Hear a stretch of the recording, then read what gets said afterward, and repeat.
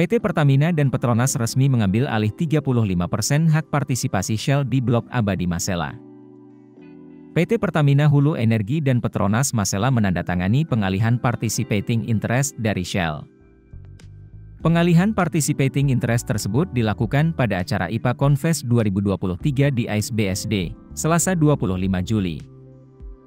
Di dalam proyek ini, PHI mengenggam 20% hak partisipasi dan Petronas sebesar 15%, sisanya Inpex mengempit 65% hak partisipasi.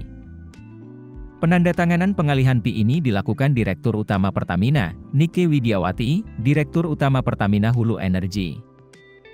Kemudian Wiko Migantoro, Presiden and CEO Inpex Corporation, Takayuki Ueda, CEO Petronas Tan Sri Tengku M. Taufik Tengku Kamadjaja Aziz.